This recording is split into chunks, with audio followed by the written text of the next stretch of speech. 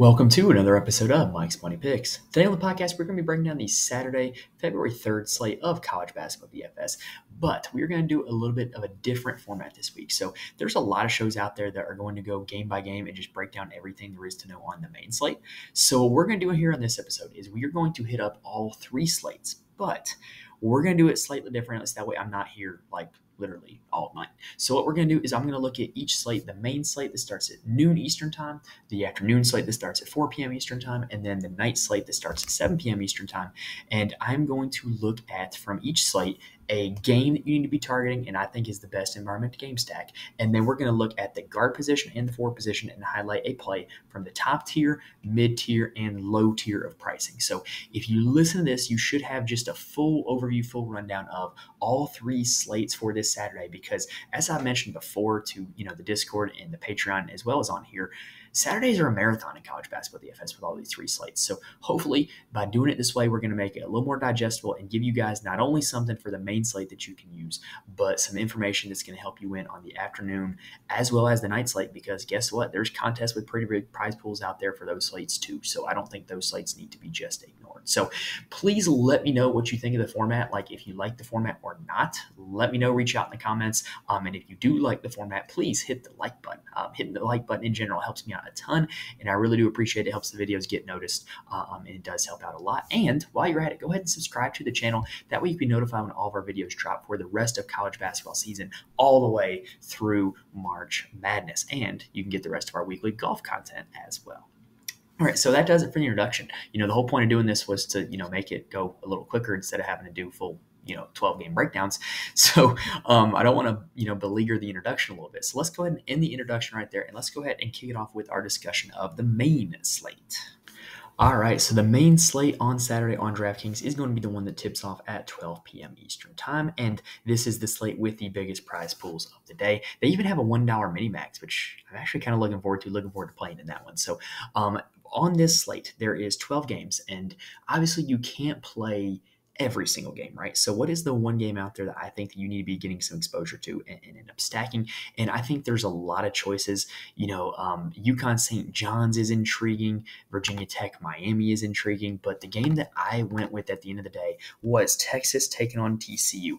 Am I a little bit of a homer for picking this one? Maybe because they are my Texas Longhorns, but also they do have the highest total of the slate according to Ken Palm. KenPom. KenPom has this game projected to finish 79 to 74 in favor of TCU. Um, so that's a 153 point total, which does rank as the highest on the slate. Now, also, not only are there going to be a lot of points scored in this game, but there's a lot of fantasy points scored in this game, or at least I think there's going to be, because TCU gives up the 310th best assist rate in the nation.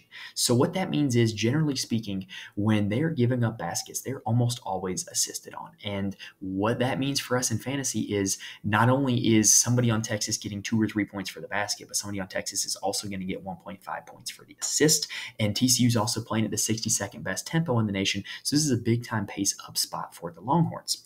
Now what we also saw with, you know, from the TCU perspective is we just saw a high usage guard in Pop Isaac Isaacs go off for 40 plus fantasy points against them. So to me, that opens up a window where Max Abmas, knowing that he has a pretty high assist rate, knowing that TCU gives up a pretty high assist rate, and knowing that he generally has a pretty high usage rate, I think this really shapes up for Max Abmas with a big ceiling potential game.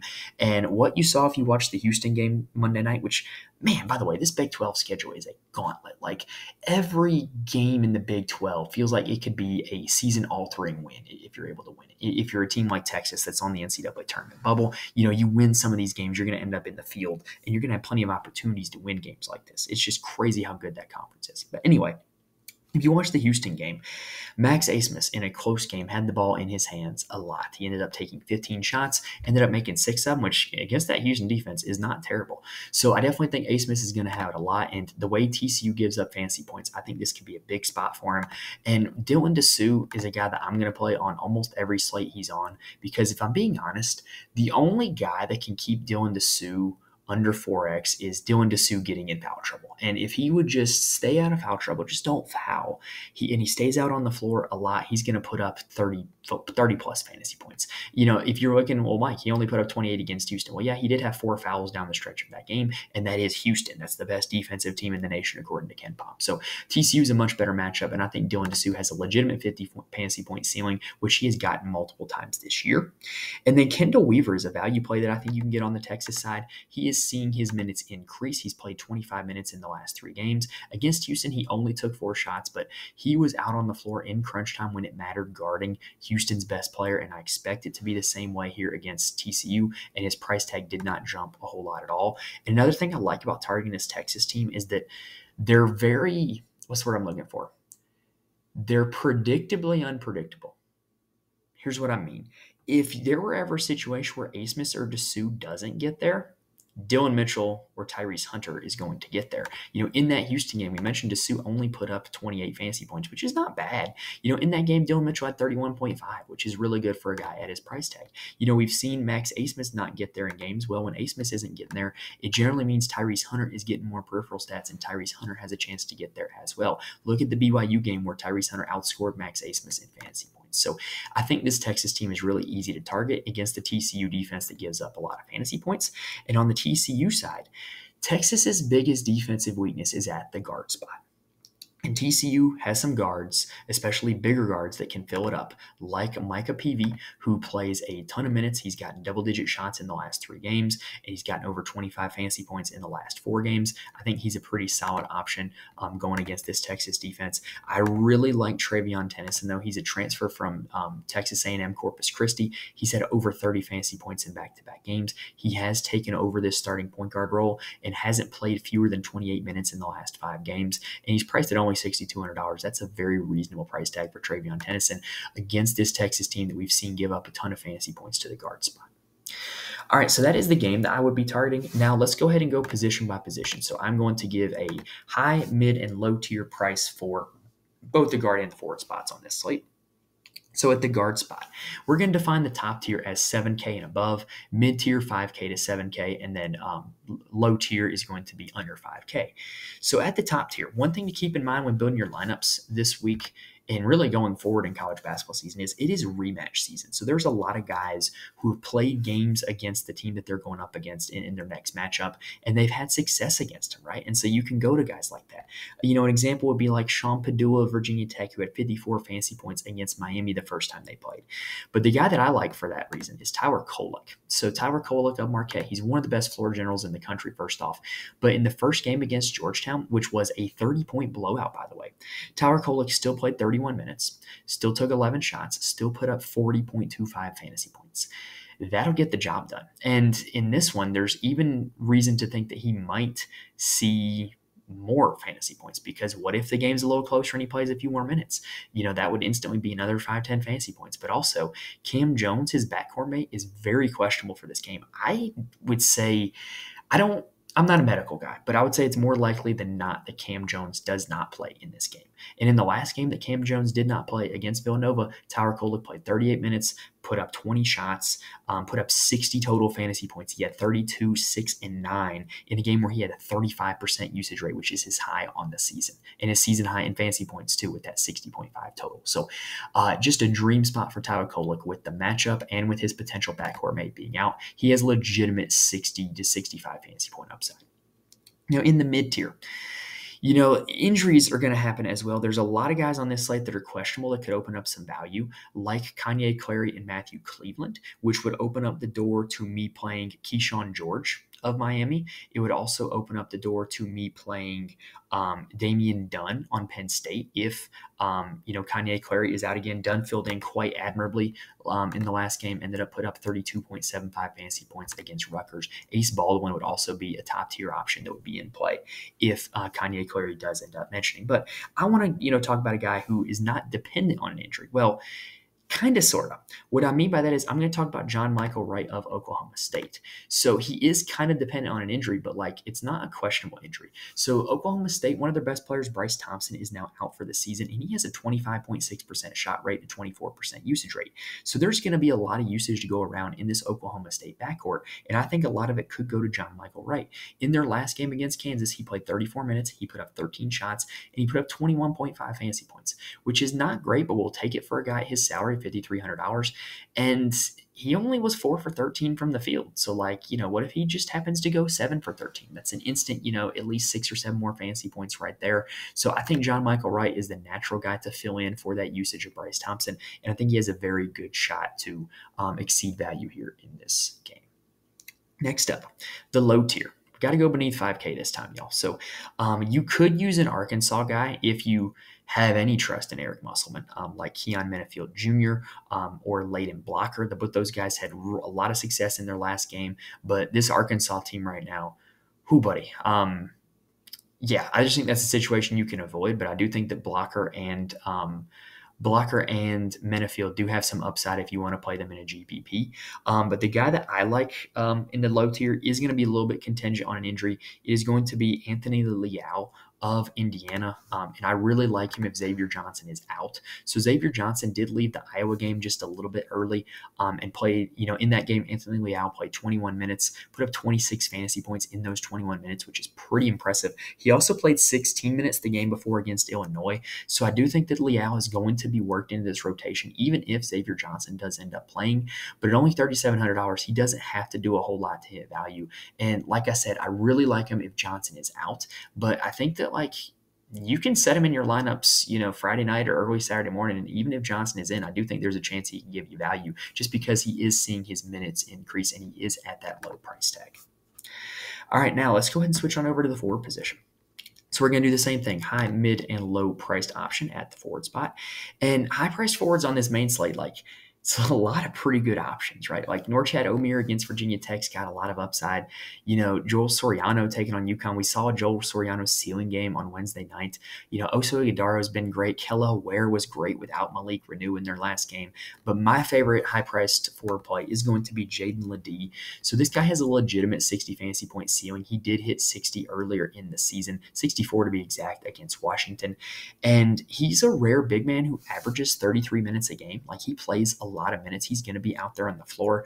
And he has 29% usage rate on the season. That's been a little bit lower in conference play, but I really think Utah State is a good matchup. Utah State does not play a big lineup, and they can be bullied down low. In their last game, they played Boise State, and they gave up a combined 44 points to Tyson Degenhart and O'Mar Stanley.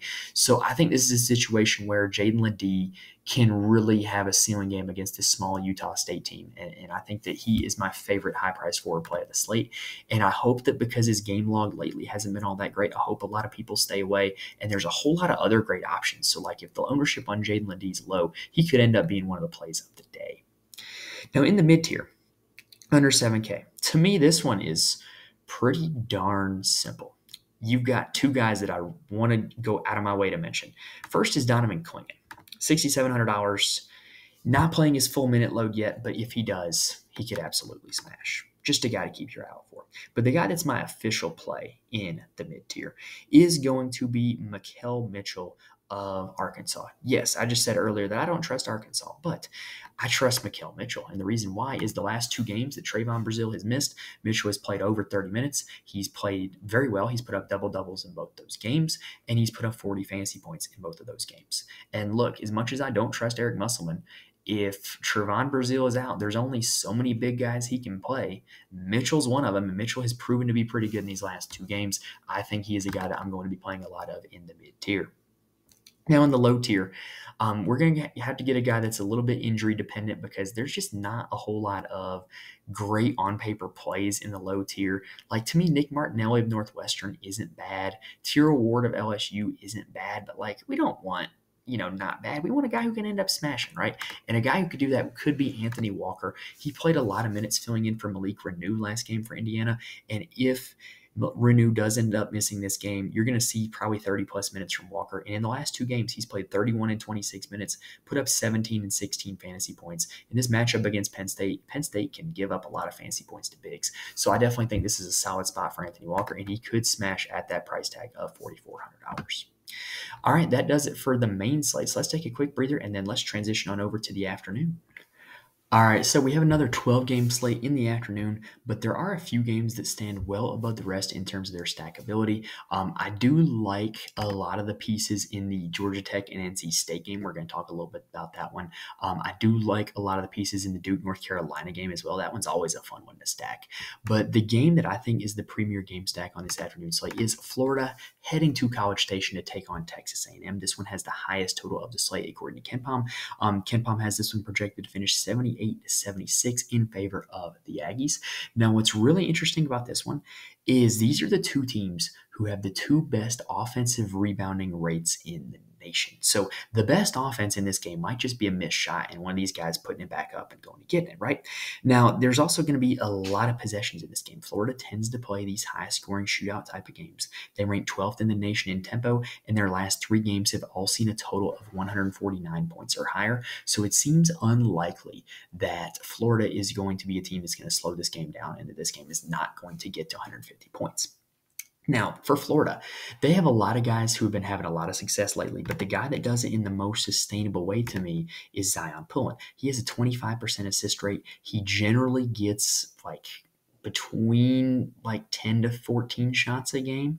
Um, and he actually generally shoots it pretty well as well. Um, so he's a guy that I just, I, I, think that what he's doing is sustainable. He's got a solid floor and a solid ceiling. And in a game environment like this one, he can really shoot out like it has each of the last two games for Florida, where he's put up over 42 fantasy points in both of those games. Now, Tyrese Samuel and Micah Handlogten both have insane ceilings. Um, like for real, for real, insane ceiling. So Tyrese Samuel had 51 fantasy points against Kentucky on Wednesday night. He also has other, you know, 40 plus fantasy point performances. And when he does that, it's generally because he gets a double double and scores a lot of points with it as well. Handlogten is the same way, but he does it on different days that Samuel does. They generally never both get there together. Um, you know, it was Tyrese Samuel had the big game against Kentucky. It was Handlogten who had the big game against Georgia, 46.75 fantasy points in that one. So both those guys guys with their ceilings, I think you can play one of them, but I certainly wouldn't play both of them together. But then you look at the other Florida guys like Clayton Jr. isn't the productive player that he was at the start of the season. Will Richard is a boomer bust guy. Alex Condon is a boomer bust guy. So like I really think you can rely on Pullin and then one of Samuel or Handlogten if you're looking to stack up the Florida side. Now for Texas A&M, Tyrece Radford has an interesting legal situation going on. I don't know what his status is for this game. I really don't. And I'm not going to speculate on it, but I, what I will say is this. The last game that Tyrese Samuel, or not Tyrese Samuel, the last game that Tyrece Radford missed it was against Houston. It, um, well, the last power conference game that he missed. There was another game in there that they played some no-name school that they ended up blowing out. But um, the last power conference game that Tyrece Radford missed was against Houston, and in that game, Wade Taylor had over a forty percent usage rate. Now it turned into fifty-one point five fantasy points against Houston. So what could that do against? Um, you know, a team like Florida that's going to get up and down, that's going to see a lot of possessions. We've seen games this year, like against Arkansas, where Wade Taylor took 32 shots in the game. Like if Radford is out, especially, he's going to have to take even more. So I think Taylor has a massive ceiling and a very high floor as well. And I really think he's one of the best plays this slate, and he makes for a perfect game stacking option. Now, Jace Carter is a name that would benefit big time if um, Radford were out, but he's been playing well lately. He's taken over a spot in the starting lineup for Hayden Hefner. He started the last three games. In those games, he's put up over 25 fantasy points in two of the three of them. So um, I do think Jace Carter is a really solid option. He's a really good rebounding guard. Tyrece Radford is also a really good rebounding guard. So you got to figure like some of those rebounds are going to go Jace Carter's way if Radford is out. And at $5,700, he's a really solid play. For the bigs for Texas A&M, you never really know what you're going to get. But Andersson Garcia coming off the bench has been the most consistent one that they've had all season. Um, he has actually shown a pretty high floor over the last six games. He hasn't scored fewer than 23 fantasy points in a game, but he doesn't do it by taking a whole lot of shots. He is really rebound dependent. But I like the fact that, you know, if he is rebound dependent, this is a game where he can get a lot of rebounds because Florida is going to push the pace and have us, you know, play more possessions in this game. So I think he's a pretty solid option as well. There's just an abundance of options from this game that you can go with. All right, now let's go ahead and take a look at the guard position. So my top tier option at the guard spot is going to be Jamal Shead of Houston. And what I think we've seen from Houston now is we've seen them play enough close games now that when a game is close and it's tight and you need somebody to generate some offense, it's going to be Jamal Shead. And look at their last two close games for evidence of that. Against BYU, he took 19 shots, put up 28 fantasy points not great, but he didn't shoot the ball all that well. And BYU's not exactly a team that just, you know, doles out fantasy points. Against Texas, he played 42 minutes, took 24 shots, put up 42.5 fantasy points in a game that he fouled out of in overtime. So I really do like Jamal Shead. I think that if this is a close game against Kansas, which on paper it should be, then he should be an elite option because in a close game, he is going to have the ball in his hands. He's going to be asked to generate offense for this Houston team. Now, in the mid tier, look, there's a lot of solid options on this slate. There really is. Um, you know, I almost shouted out DJ Horne of NC State as my high high tier or top tier option. Um, but as we go down to the mid tier, um, a guy that I like a lot just on paper is Dug McDaniel of Michigan. However, the matchup against Rutgers is certainly not enviable. So let's go a guy with, that has a good matchup, and that's going to be Ishmael Leggett of Pitt. So he appears to now be fully back from his injury. And if you remember back at the start of the season, Ishmael Leggett was a guy that was in the 8K range on DraftKings quite regularly. You know, but he missed some time with an injury and he wasn't really all the way back. But I think his last two games signal that he's back. He's taken 12 and 16 shots in those two games, um, and he shot the ball decent in both those those two games, and he's put up 39 and 30 fantasy points in those two games. So I really think he's all the way back. He's back to being the player he was at the start of the season when he was about 8K, and you're getting him at a price of, you know, 6,900. And he's going up against a Notre Dame team that is just simply not that good. And Pitt should be able to win this one quite easily. They should be able to put up plenty of statistics along the way. So Ishmael Leggett is my mid tier play. Now, also, um, we're going to mention this later. Um, as well when we get to the low tier. But Kevin McCullar is questionable for this game for Kansas. I don't know what his status exactly is going to be. A guy that you can consider in the mid tier would be Johnny Furphy, um, who has played incredibly well since entering the starting lineup. And, you know, it was not a close game against Oklahoma State, but you got to feel like in a close game, he's going to see a little bit more usage and a little bit more opportunity to put up fancy points. So he's a guy that I would consider. Um, I also mentioned that the Georgia Tech and NC State game has a lot of guys that I think you can consider. Um, Naithan George of Georgia Tech is an interesting one. Miles Kelly of Georgia Tech would be an interesting one. Jayden Taylor of NC State is in this mid tier as well. Um, but as we get down to the low tier, the guy that I like in the low tier is going to be Nick Timberlake of Kansas. So, um, last game against Kansas, um, or I'm sorry, last game against Oklahoma State, it was Elmarko Jackson that got the start, but it was Nick Timberlake who played more minutes and, and put up more fantasy points. He put up 21.5 fantasy points in that game against Oklahoma State. Um, so, you know, I just think he had a higher usage rate than Elmarko Jackson did. And if McCullar is out, you, you're going to see Timberlake continue to be that, you know, high usage player. He was a really high usage player at his last school, and he just hasn't been that at Kansas. But the game against Oklahoma State showed us some hope that he can be that if Kevin McCullar is out So he would be a guy that I would have to have in my lineups if that is the case. Now, if that is not the case, um, because there's a good possibility that it's not. Another guy that I would consider is Gavin Griffiths of Rutgers. First off, Michigan, in terms of like Big Ten teams, is a really solid matchup because they played a decent tempo and they're not good defensively. But Griffiths, the last two games, has taken on more of a role. He's put up 11 and 9 shots in those two games, played 18 and 24 minutes, put up 11 and 15 fantasy points, which might not sound like a whole lot, but he's only got a salary of $3,300. So if he puts up 15, you're going to be quite happy with that at the end of the day. All right, now let's take a look at the forward spot. So, um, the top tier for the forward spot has a lot of guys who have been playing pretty well lately, like Johni Broom, like Harrison Ingram of North Carolina, like Branden Carlson of Utah. But the guy that I'm going to pick for my high price forward spot is going to be Julian Reese of Maryland. They are taking on Michigan State, and they've already played each other this season. In that first game, Julian Reese had 36 fantasy points against Michigan State, which for a salary of $8,300, like we'll take that, right? But when you look deeper, you realize that that might actually have been like a floor game for Julian Reese. He had 21% usage in that game, which is lower than his season average. There was only 120 total points scored in that game, which is incredibly low. And he played 33 minutes in that game, which is pretty good, but also he wasn't in foul trouble at all. So, like, I don't think he'll be in foul trouble in this one either. And so I definitely think that there's a chance that as long as he stays out of foul trouble, he puts up another double and it very easily crosses 40 fantasy points against this Michigan State team. Next up, let's talk about the mid tier. So there are a few injury dependent plays in the mid tier.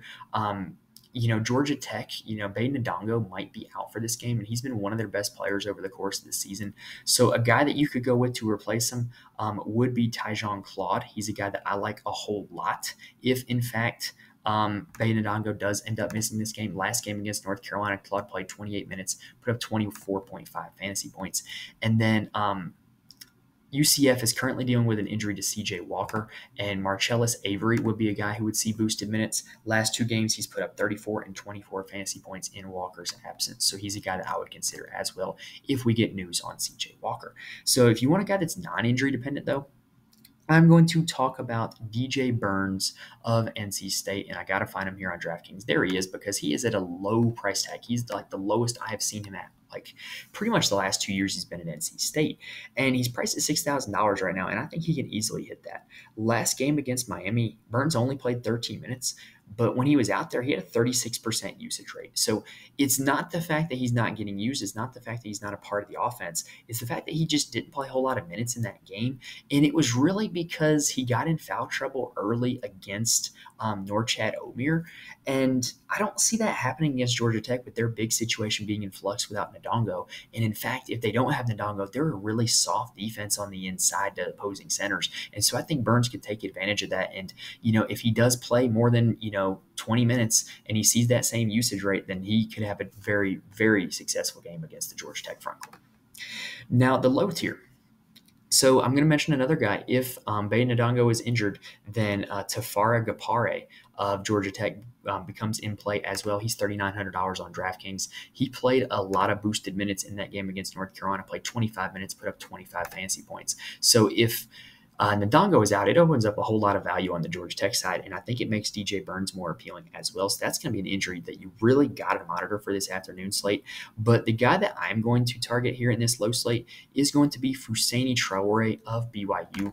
Um, so he played 18 minutes against Texas which doesn't sound like a whole lot, but it's his most since returning from injury, like since Thanksgiving. Um, and in that game, he was very effective and he also saw a lot of usage. He had a 36% usage rate in those 18 minutes, and he put up 27 fantasy points in those 18 minutes. And this was against Texas. So this is a team that's no slouch on the inside, you know, from interior defense. And now he gets a matchup against BYU, or I'm sorry, against West Virginia, where they're just a team that isn't really all that good and just kind of just hand out fantasy points like they're free candy. Um, and so if Fousseyni Traore is going to continue to see his minutes increase and he's still going to play with that same usage level, and you know he put up 1.5 fantasy points per minute against Texas. If, if he's able to do that again, he could very easily hit 30 plus fantasy points at a salary of only $4,800. He is their team usage leader on the season, and I do think that if he is back fully healthy, he is one of their best players. And so I do think um, Fousseyni Traore has incredible upside here in this afternoon slate. All right, so let's go ahead and end the afternoon slate right there, and then let's go ahead and shift on over to the night slate. All right, so we're rolling on through into the night slate, which does have a few games that I think you can target here on this one. Um, you know, there's the Syracuse Wake Forest game that has a 149 point total. There's the Mississippi State Alabama game that has a total over 150. But the premier game of the night, which is probably the best game of the night, if not the best game of the day or, or game of the week for that matter, is Tennessee taking on Kentucky. Um, this one is projected to be 80 to 78 Tennessee, according to KenPom. That's a 158 point total, which is quite high. And there's a lot of different directions you can go in this game. Dalton Knecht has just been great. Like if you played him over the last two weeks, it's he's probably just like printed money for you if you got in the last year lineup, right? Um, and he's been outstanding. He's had over 44 fantasy points in five of his last six games, and you know there's really no shine, no signs of stopping. Like he's attempted 20 shots in each of those last five games, and if he's going to keep getting those shots, he's a good enough scorer that he's going to put him in the hoop, and he's going to put up a lot of fantasy points. Continuing on the Tennessee side, Jonas Aidoo has also been pretty effective over the last five games. He's been over 30 fantasy points in four of the last five, and he's been over 44 fantasy points in, I'm sorry, over 40 fantasy points in two of the last five. And like we just saw Tyrese Samuel of Florida absolutely go off against this Kentucky front course, and maybe Aidoo can do the same. And then, you know, you've also got other guys for Kentucky that like, they're not like you know, super successful in fantasy as of late, but they're guys who have good pedigrees or good college basketball players like Zakai Zeigler, like Santiago Vescovi, like Josiah Jordan James. Like all those guys are going to play big minutes. They're all going to have the opportunity to hit some shots. Like I think in a game environment like this, you can definitely mix and match a lot of those guys because you know the the fancy the fancy performances might not be there as of late, but they're they're proven good college basketball players who are going to have the ability to score points in a game that's going to feature a lot of points scored. Now, on the Tennessee side, the big question mark is whether or not DJ Wagner is going to play this game or not. If he sits, you're probably going to see usage very similar to what you saw earlier in the week against Florida. Reed Sheppard uh, had a ceiling game in that game. He had 49 fantasy points. Um, he had um, was 10 for 18 from the field, put up 24, 8 and 6, and that's the ceiling that we like out of Reed Sheppard. Like he has the ability to absolutely fill up the stat sheet. You know, he he barely plays over 25 minutes a game, and he averages over four boards and four assists. Like if he's going to be playing in the starting lineup, he is a guy that needs to be in your DraftKings lineups, like he like he did Wednesday night against Florida. Now after that you know, Kentucky had four players who saw a 22% usage rate or higher in that game. And it was Reed Sheppard, it was Antonio Reeves, it was Ugonna Onyenso, and then it was also Rob Dillingham. With Rob Dillingham, the usage is never surprise, it's just the minutes. And so, like, DJ Wagner being out opened up the door for him to play 39 minutes and put up 33 fantasy points. If Wagner's going to continue to be out, I will continue to roll with Sheppard and um, Dillingham. Onyenso moved into the starting center role uh, two games ago against Arkansas. And he's been really good. Like against Arkansas, he didn't do a whole lot, but against uh, Florida, he put up 54.5 fantasy points. A big reason was because he had eight blocks, but like even if you take those away, that's still 36 fantasy points. He was really good in that game. He was really effective. And um, I think they're going to continue to get a lot from him out at the center position. The guy who kind of ended up left out, though, was Tre Mitchell. Um, you know, at the start of the season, he was playing the four, or I'm sorry, at the start of the season, he was playing the five. And now that they have Onyenso and Bradshaw and Big Z back, now Mitchell is playing more of the four. And it had been working for him in fantasy until Sheppard and Dillingham started playing a lot of minutes because Sheppard and Dillingham are going to eat into his boards and assists. And Tre Mitchell did not have a good game, you know, shooting. He was two for 10 from the field, 0 for 5 from behind the arc. You know, so could we see a bounce back game for Tre Mitchell? I think it's definitely a possibility. But based on what we saw last game, I would certainly be more inclined to play Sheppard Dillingham or Onyenso ahead of Tre Mitchell. And then Antonio Reeves, I, I, barely mentioned him. He did have a pretty solid usage rate. He put up 30 fantasy points, just kind of does what he does, right? Like that's kind of what we expect out of Antonio Reeves in this point. Um, I don't really see the opportunity for him to have a ceiling game, though, against a Tennessee team that's still pretty good defensively. All right, now let's go ahead and talk about some guards. So at the guard spot, my high priced option, let me get rid of the filter here. My high priced option is going to be Judah Mintz of Syracuse. I mentioned that I like the Syracuse Wake Forest game, and he is a guy that I really like a lot in this game. He is back to being Syracuse's usage leader on a game in, game out basis. And what I really like is that he just has a variety of ways to put up fantasy points, right? Like against Boston College, 8 for 16 from the field, did it mostly scoring, put up 31 fantasy points, and that was with dealing with foul trouble. Uh, NC State, you know, he was 3 for 9 from the field, but still put up 44 fantasy points. Miami, 3 for 11 from the field, still put up 44 fantasy points. Like he just has so many ways to get there in, in a game, you know, against Wake Forest where the tempo is going to be pushed. There's going to be a lot of points scored. I just think it's a great spot for Judah Mintz. And I think a lot of people are going to be playing Knecht and Sheppard. So um, I think you're going to see, you know, a little bit of an ownership squeeze on Judah Mintz, as well as Mark Sears of Alabama, who's also been great lately. The other guys that I considered in this um, top tier price range, I considered the Xavier guys, Olivari and Claude, simply because like DePaul, like just hands out fantasy points. And, you know, th- those two, if they're able to play 30 plus minutes, they're probably going to score a boatload of fantasy points. Um, I also considered Augustus Marciulionis of St. Mary's, who has now taken over as their starting point guard. And um, he's played 40 minutes in each of the last two games, put up 38 fantasy points in each of those last two games as well. So um, definitely a guy that if he can continue what he's been doing, it's a pace up spot against Gonzaga. It's a really spot, a really good spot to play him in. Now, heading on down to the mid tier, um, there is one guy that immediately intrigued me when I saw his name, and that was Josh Hubbard of Mississippi State. So, on the surface, you can look back to his first game against Alabama and said that he only had 20.5 fantasy points. But then you realize he was 3 for 11 from the field. So, the usage was still there, the shots were still there, they just weren't falling. And if they do fall, then he could have a chance to have a big game. But also, he's seeing a little bit of a boost lately. He only played 21 minutes in that game against Alabama. Well, he's played 27 minutes or more in each of the last four games, and he actually moved into the starting lineup in the last two games against Auburn and Ole Miss. And in those two games against Auburn, he only put up 20 fantasy points. That's because he didn't do a whole lot else outside of scoring. But against Ole Miss, he really found the peripheral stats, put up 40 fantasy points. And so that upside is genuinely there with Hubbard. This is a guy who's going to take a ton of shots. And now that he's in the starting lineup playing a ton of minutes, I really feel more comfortable playing him. And his salary $6,700, the price is still right for him.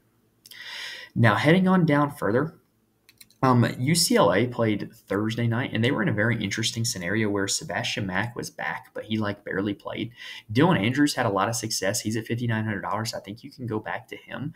But the guy that I'm going to mention for my low tier play is going to be Will McClendon of UCLA. So um, when it comes to Will McClendon, he was playing a lot of boosted minutes because of Sebastian Mack's injury.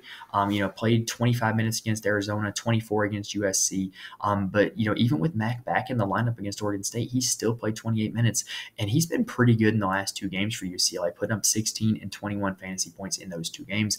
Might not sound like a whole lot, but he's only $4,400, and this is a big time pace up spot against Oregon.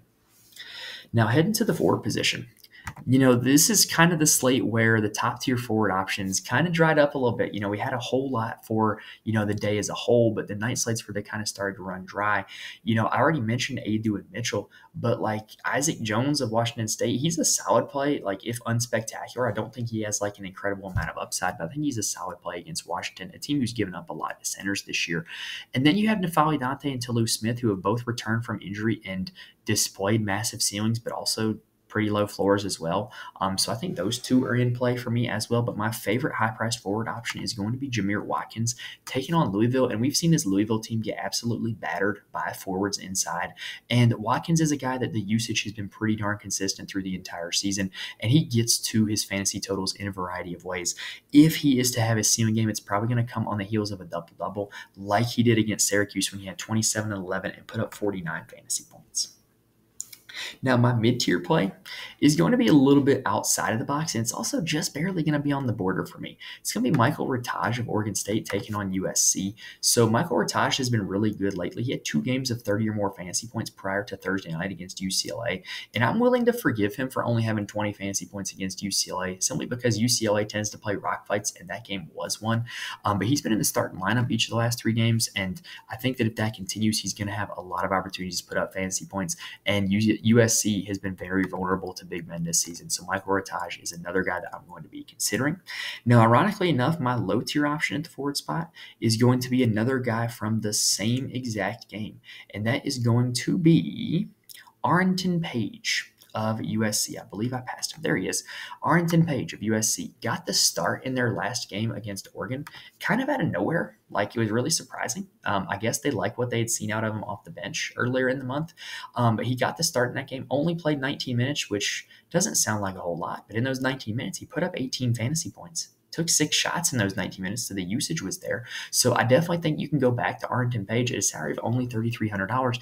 If he plays 19 minutes again, maybe, you know, even a little bit more, like 20 to 22, puts up 15 fantasy points, that's going to get the job done at only $3,300. So that's a guy I do think you have to consider for your lineups, and I really think DraftKings was sleeping on that price tag.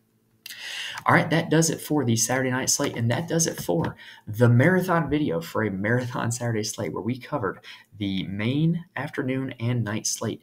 If you want more from me, there's a lot of guys that are on these slates that I was not able to mention in this video. If you want more from me, follow me on Twitter at Mike's Money Picks. Join the Fantasy Corner Discord. It's entirely free. There's a lot of smart people in there who play a lot of DFS for a lot of different sports. The college basketball chat has been popping lately. We've had a blast in there the last few days, and we've had a lot of guys come close to some GPP wins in there. But basically, I'm going to be in there all day with a lot of other guys just bouncing ideas off each other, talking lineups, talking strategy, um, injury news. We're also we also got a lot of guys who specialize in getting those out to us. So it's just a great place to be if you're looking for a community to be a part of with DFS. If you're looking for more people to talk DFS with, join the Fantasy Corner Discord. It's entirely free. You have nothing to lose, and it's a blast. Also, I do write a full article on my Patreon for every college basketball slate. Um, I highlight all of my core plays as well as my lineup strategy and attack strategy for the slate. There's not a whole lot of people out there doing this for college basketball, so I do think I provide some pretty good information that can help you win in college basketball DFS. So check that out if you are interested. Now, that does it for this episode, y'all. So, um, hopefully, I was able to give you guys some good information on this episode that's going to help you make money all Saturday long for all three of these slates. Um, best of luck to you on the Saturday slate. If you like what you saw in this video, please hit the like button. Please subscribe to the channel as well. And also, let me know what you think of the format because I'm trying to figure out the best way to do the Saturday show because what it always ends up being is it always ends up being kind of a time crunch as well as kind of a drag because of how much content there is to get to. So I'm trying to come up with ways that we can best do the Saturday show to help you guys out. Um, and I think that by doing all three sites, I hope that we're able to do that here on this episode. So that does it for this episode. Best of luck to you guys on all three of the Saturday slates. Thank you guys for watching and listening to this point, and I will see you next time.